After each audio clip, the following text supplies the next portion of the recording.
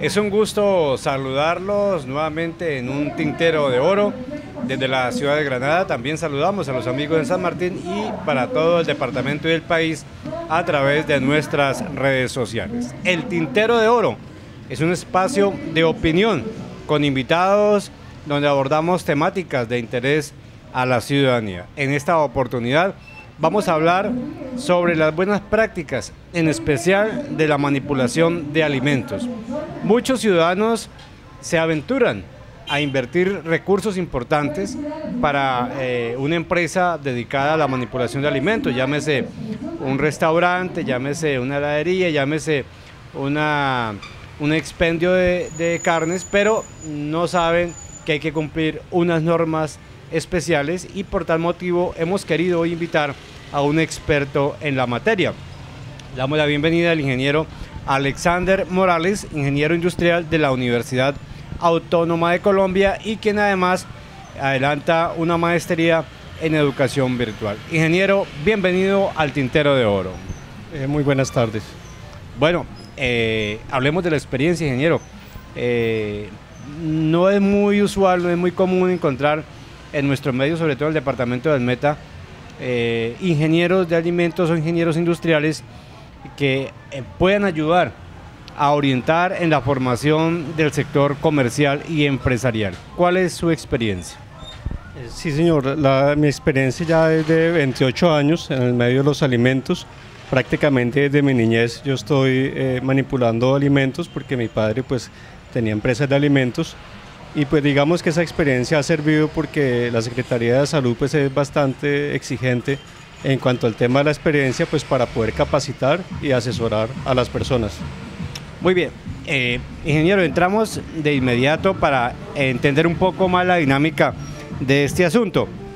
¿Cuál es la función de un ingeniero industrial, en este caso particular, en el proceso de orientación a los empresarios? Sí, básicamente es poder interpretar las normas. La resolución 2674 de 2013 para todos los expendios de alimentos en general y el decreto 1500 de 2007 para las empresas eh, eh, que manipulan cárnicos. Entonces la idea, mi capacitación precisamente es con base en la experiencia poder dar esa interpretación de la norma y ayudarle a los expendedores, a las empresas en general, a poder aplicarlas y cumplir con la normatividad para evitar inconvenientes con las autoridades sanitarias correspondientes, como son el INVIMA para las fábricas de alimentos y la Secretaría de Salud del Meta y la Secretaría de Salud de los respectivos municipios en el caso de los expendios.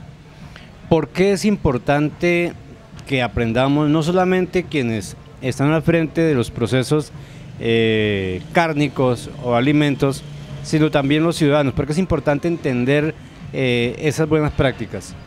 Porque ahí está involucrada la salud de nosotros, y también de nuestros comensales, en el caso de los que tengan expendios o los que tengan empresas. Inclusive yo siempre sugiero que esas buenas prácticas deben ir desde la misma familia.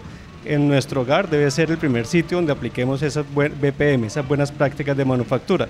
Si lo hacemos bien en nuestro hogar, seguramente vamos a tener éxito también en implementarlas en nuestra empresa o nuestro expendio. Eso es muy importante lo que usted acaba de decir, ingeniero, porque es que uno de los factores eh, que está afectando mucho y sobre todo están saturando a los centros de salud por el grado de, enfermedades, por, la, por las malas prácticas en manipulación de alimentos. ¿Cómo estamos en materia de salubridad en la región frente a otras partes del país? Bueno, el problema de las enfermedades transmitidas por alimento es bastante significativo. Basta con acercarnos al hospital de Granada y vemos la gran cantidad de niños y de personas que tienen bacterias y eh, como la salmonela y cosas que realmente son prevenibles, pero que por la falta de información de la gente eh, pues eh, es bastante mal. Si nos comparamos con el resto del país, pues estamos acá en el meta bastante atrasados en ese tema, porque ya digamos muchas capitales como Medellín, como Bucaramanga están muy adelantados en aplicar el decreto 1500, pero si nos comparamos con el resto de municipios del Ariari, Granada está muy bien.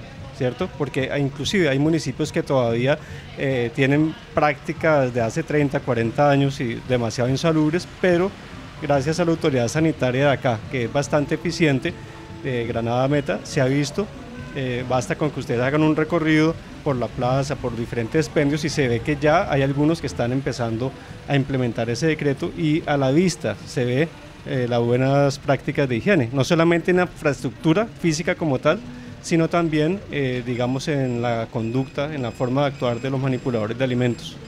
Muy bien, es importante entonces, señores televidentes, amigos empresarios, conocer esto porque nos interesa a todos, porque además estamos hablando de la salud pública, de la salud de todos los habitantes de nuestro país, en especial de esta región. Bueno, ingeniero, ¿qué debe tener en cuenta una persona antes de invertir un dinero en este tipo de negocios? Primero que todo tiene que eh, documentarse bien si realmente, eh, digamos, puede hacerlo, si está dentro de la, posibilidad económica de hacerlo. No es algo que sea extremadamente costoso, pero sin embargo sí requiere alguna inversión en cuanto a infraestructura, eh, obviamente en cuanto a capacitación, porque mi asesoría no solamente decir y decirle qué ajustes en cuanto a infraestructura tiene que hacer, hay que implementar un programa que se llama POES, que precisamente son todos los procedimientos operativos estandarizados de saneamiento, que en realidad es un sistema de gestión de la inocuidad. Es un sistema que más o menos dura seis meses en implementarse en cada expendio, donde hay una serie de registros, de documentos que hay que diligenciar para verificar que sí estén cumpliendo con lo que dice la norma. Ese POES es precisamente lo que el INVIMA y los inspectores sanitarios van a revisar. O sea que es una gestión documental eh, que más o menos dura seis meses, donde yo cada ocho días tengo que ir a hacer visita, ir a capacitar a las personas, eh, hasta que finalmente ellos logren tener ese hábito de buenas prácticas higiénicas y llenen los registros adecuadamente. Muy bien, digamos que para las personas que llevan 5, 8 o 10 años atrás, eh, con sus establecimientos de comercio, pues han aparecido la normatividad que deben aplicarse para evitar ciertas dificultades a la hora de las visitas de los técnicos ambientales. Pero mm, muchos ciudadanos a veces desconocen de que eh, se deben eh, respetar o acatar las normas. Es importante que antes de instalar un negocio o montar un negocio, como decimos coloquialmente, conozcamos estos aspectos para evitar sobrecostos eh, y pues mayores dificultades, ¿verdad? Sí, sobre todo lo más importante es que las asesorías las presten personas que hayan demostrado su idoneidad técnica y científica, dice la norma.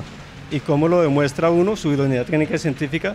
Presentándose ante la autoridad sanitaria. En mi caso me tuve que presentar ante el inspector sanitario del Granada, pero también tuve que ver todos mis soportes y toda mi experiencia, exponerla ya en eh, donde un ingeniero de nombre Pedro, eh, que es el encargado en la Secretaría de Salud en Villavicencio. Entonces cualquier persona no puede venir a, tampoco a, asesorarlos a menos que tenga el visto bueno de la autoridad sanitaria y como es en mi caso, pues yo trabajo bajo vigilancia de la autoridad sanitaria del Meta y también la, la cala del municipio. Es importante esto, señores televidentes, empresarios y comunidad. Eh, hay que saber a quién se le va a solicitar la asesoría. El ingeniero Alexander Morales está certificado, no solamente es un profesional idóneo en el tema, sino que está certificado y avalado por la Secretaría de Salud del Departamento del Meta y está adelantando los procesos en el municipio de Granada y los demás municipios de la región, ¿verdad? Sí, claro. En este momento eh, prácticamente eh, Puerto Lleras, eh, San Juan de Arama, San Martín y sobre todo Granada son los que más están llevando la delantera en este mejoramiento, ¿no? Pero donde es definitivamente más evidente, donde se ha mostrado más el avance, es acá en Granada, gracias a la toma de conciencia de las personas y pues de una u otra manera eh, el apoyo que eh, mi gestión ha podido dar a la autoridad sanitaria al respecto. Muy bien, el ingeniero Alexander Morales, un ingeniero industrial, especialista también y sobre todo brinda la asesoría en materia de manipulación de alimentos. Una pausa y ya retornamos en el Tintero de Oro.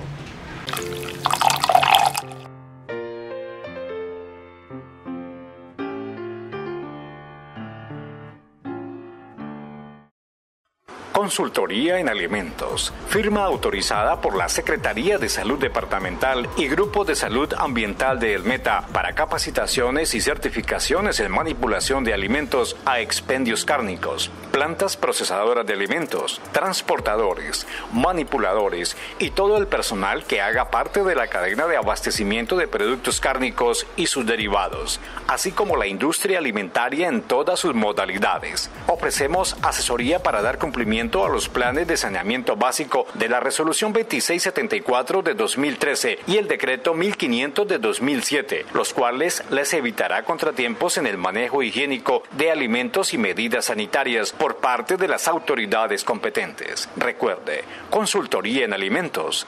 Estamos a su servicio. Oro Oro es televisión llanera, noticias, entrevistas, entretenimiento eventos.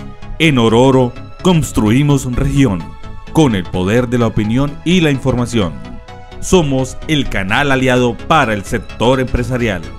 Sintonízanos en Cable Más, tu mejor opción.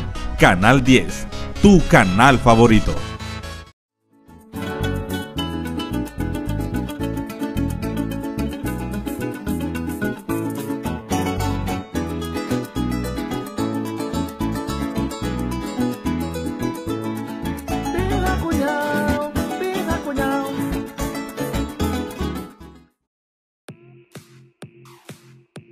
Oro Oro Televisión Llanera, comprometida con el desarrollo de la región, con responsabilidad social y empresarial.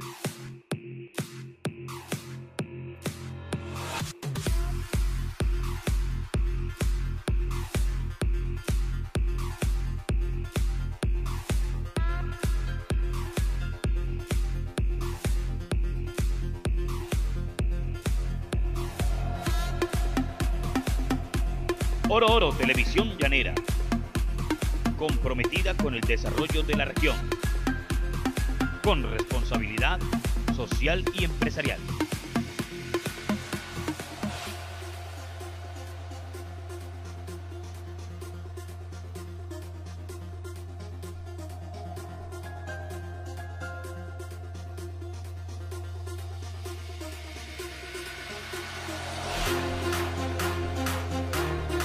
Oro Oro Televisión Llanera, comprometida con el desarrollo de la región, con responsabilidad social y empresarial. Turismo Vivo, la maravilla de los llanos orientales para el mundo entero. Desde la región del Ariari, los saludamos e invitamos a ser parte de la magia del embrujo llanero. Lo mejor del turismo regional y nacional. Una mirada a esta industria en el contexto internacional. Turismo Vivo nos permitirá entender la importancia de vivir, cuidar y disfrutar los maravillosos paisajes que se encuentran al sur del departamento del Meta, a sentir el calor de nuestra gente. Te invitamos a ser parte de este maravilloso proyecto, porque Colombia Turística está al alcance de todos. En Turismo Vivo conoceremos la majestuosidad de nuestros recursos ambientales, nuestras lagunas, nuestros ríos, nuestros reservorios y sobre todo el avistamiento de aves, una actividad que se abre al mundo. Los amaneceres, la cultura, la música y los artistas. Turismo Vivo, una estampa de nuestra llanura, orgullo nacional. En Turismo Vivo podrán conocer sitios seguros y agradables. Les indicaremos cómo visitarlos para que su estancia sea de gran alegría. Con nosotros vivirán turismo ecológico, turismo de aventura y aviturismo en esta tierra sagrada. Sea parte de esta fantástica aventura por la oferta del turismo nacional y regional. Acompáñenos y apóyenos para descubrir la esencia de esta cultura de valores llaneros. Turismo vivo de ustedes y para ustedes. Síganos en Oro Oro Cable Más y por supuesto en nuestras redes sociales. Turismo Vivo, la maravilla de los llanos orientales para el mundo entero.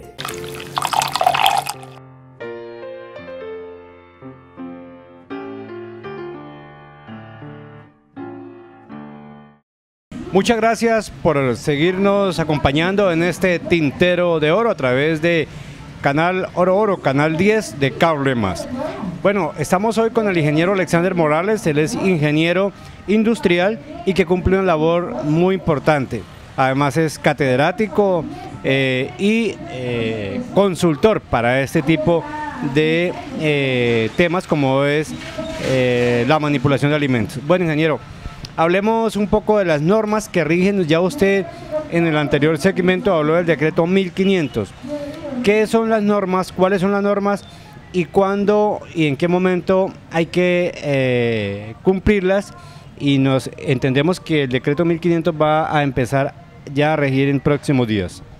Sí, casualmente para las empresas que ya están certificados con el decreto 2278 de 1984, las empresas antiguas, ellos tienen plazo hasta el 18 de octubre de 2018 para ponerse de acuerdo o de acorde a lo que dice el decreto 1500. Para los expendios nuevos, ellos sí tienen que estar al 100% con el decreto 1500 para solicitar eh, que se haga la certificación en el decreto 1500 de 2007. Entonces estamos ya sobre el tiempo. Eh, hace año y medio, ya desde enero de 2017, eh, hemos estado dando las capacitaciones. Empezamos con la Universidad CUN, con la CUN acá en Granada. Eh, hicimos un convenio precisamente y ahorita nuevamente estamos con ellos precisamente para reducir costos a los usuarios. Entonces ellos ponen la infraestructura, la parte física y yo pongo mi, conocimiento a disposición de la comunidad. Por eso es que sale bastante económico en comparación a lo que cobrarían otros ingenieros eh, en otras partes eh, o en otras capitales. ¿no? Entonces, digamos que acá, gracias a esos convenios que yo he buscado, eh, es bastante asequible tanto los cursos en manipulación de alimentos como la consultoría que yo también hago a las diferentes empresas. Pues hay que tener en cuenta que aunque soy un ente privado, el servicio que estoy prestando es un servicio público y avalado precisamente por la Secretaría de Salud, entonces asimismo pues yo asumo esa responsabilidad. Claro, y sobre todo que las certificaciones son legales, hay que tener mucho cuidado con ello porque a veces nos dejamos creer a veces de falsas eh, publicidades y de falsas promesas, terminan invirtiendo unos recursos y resulta que esos certificados no les sirven y ahí vamos a, a incurrir en gastos a veces mayores. Por eso es muy importante, ingeniero, que los televidentes y quienes estén en estos procesos tengan en cuenta. Bueno, ingeniero, ¿a qué se exponen las personas o los comerciantes que no cumplan con esa normatividad? Bueno, primero que todo, lo más importante es que exponen a grandes peligros, a enfermedades transmitidas por alimentos a sus propios clientes, a sus propias familias. Eso es lo principal, exponer la salud de las personas. Sin embargo, adicionalmente a eso, pues se exponen a que les decomisen eh, los cárnicos o decomisen los alimentos que están vendiendo sin autorización y peor aún pues que les eh, cierren o les sellen el establecimiento comercial. Por eso es muy importante lo que usted decía. Hace poco un concejal me decía que estaban vendiendo certificaciones en manipulación de alimentos, había alguien que las vendía y la gente prefiere ir a pagar eso por no ir a hacer las 10 horas de capacitación. Es reglamentario que se hagan 10 horas. Al final de las 10 horas se certifica. Y pues nosotros obviamente ya tenemos los mecanismos con la autoridad sanitaria para identificar cuáles son eh, esos certificados eh, genuinos. Entonces cuando son falsos son fáciles de identificar y obviamente la gente pierde su dinero y fuera de eso están expuestos a que les sellen el establecimiento comercial. Claro, y además por salud, me imagino que quienes están siendo certificados ya tienen exhibidos sus certificados, ¿verdad? Porque además no solamente es la responsabilidad que tenemos como, como comerciantes, que brindamos un servicio a la comunidad, que hay que hacerlo bien en condiciones higiénicas adecuadas. Recuerda que también podemos en un momento dado jugar con la salud de los ciudadanos, pero también nosotros como clientes, preferiblemente eh, llevar la familia a comer, a disfrutar en un ambiente muy sano y que sea certificado, ¿verdad? Por supuesto que sí. Entonces, en nuestras propias manos está la salud de nuestra propia familia y de nuestros clientes. Entonces, de ahí la importancia vital de que eso se convierta en un hábito. Las buenas prácticas de manufactura, las BPM, se tienen que convertir en un hábito común y corriente en nuestra vida diaria y eso lo observan los clientes. Entonces por eso sugerimos siempre a las personas ir a sitios donde ya estén certificados. Muy bien, estamos con el ingeniero industrial Alexander Morales, hablando de estos procesos, que no es fácil, es la cultura, es la transformación, es la concepción, no solamente el acatamiento de normas, sino entrar en procesos de modernización. Y yo me imagino que no ha sido fácil, ingeniero, eh, pues que muchos sectores asimilen, sobre todo cuando tienen unas culturas mm, ancestrales de 30, 40 años que cuelgan o colgaban la, eh, la carne en los ganchos y las moscas sobre, sobre los exhibidores. Hoy no se puede hacer eso. ¿por qué nos cuesta tanto asimilar ese cambio y entender que las normas son dinámicas y que todo se hace para, para mejorar la convivencia y la salud? Básicamente lo que nos falta a todos es lectura. Donde todos fuéramos buenos lectores y leyéramos lo que dice la norma, seguramente se nos haría mucho más fácil asimilarlas. Eh, otra cuestión es que las autoridades están para colaborarnos, no para perjudicarnos. Cuando ellos nos exigen que cumplamos una norma, así como la norma de tránsito que dice que utilice un casco, así como la norma sanitaria dice que utilice una cofia, un tapabocas, no es porque nos quieran molestar la vida, como dicen muchos, es porque realmente está comprobado que eh, unos procedimientos sencillos como el lavado de manos, como un, un tapabocas y una cofia, reduce en forma dramática las enfermedades transmitidas por alimentos. Entonces por eso eh, tenemos que tomar conciencia de que las autoridades están es para colaborarnos, no para perjudicarnos y, tomar conciencia de eso y, mejorar. Muy bien, hemos visto eh, incluso en esos sectores que son culturalmente pues, más complejos, que ya han empezado a adaptar los establecimientos, por ejemplo, plaza de mercado, algunos expendios cárnicos. Eh, es decir, que ya se está tomando conciencia sobre ello, ¿verdad? Y sobre todo, pues que, que eso es para mejorar como usted lo ha dicho. Las recomendaciones, las sugerencias, ingeniero, para que todos estemos en esta onda de actualizar y sobre todo de acatamiento de las normas porque en la medida en que mi negocio cumpla con los requisitos, esté higiénicamente bien, pues vamos a tener mejores ventas además. Sí, la invitación eh, a todos los expendios, incluyendo las tiendas, que pues las tiendas no está permitido que vendan cárnicos porque no tienen la infraestructura ni tienen los conocimientos adecuados para hacerlo.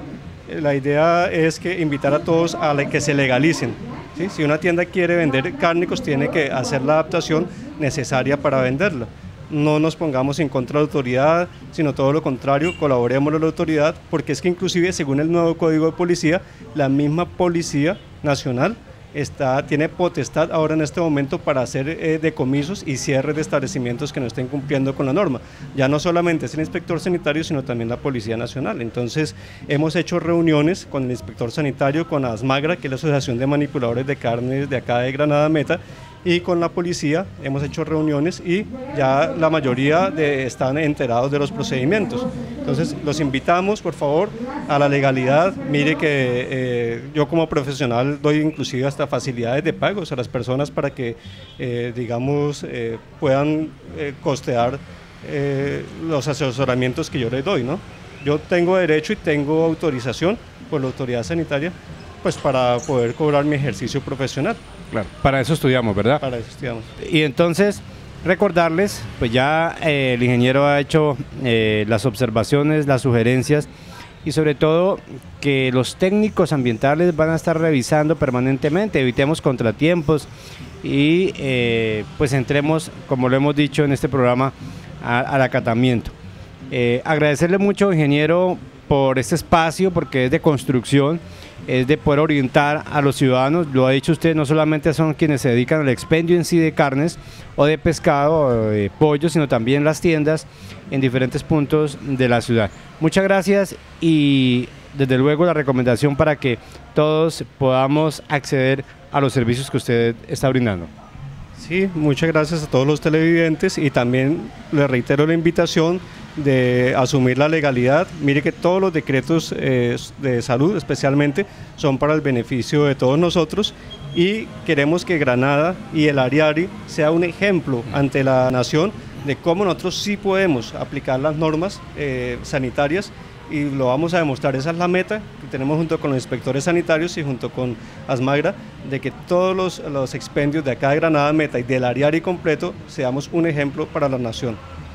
A ustedes muy amables por acompañarnos en este tintero de oro. Los esperamos en una nueva emisión. Por favor, continúen la programación de Oro Oro Televisión y en las redes sociales. Estar muy pendientes de toda la información a través de este sistema.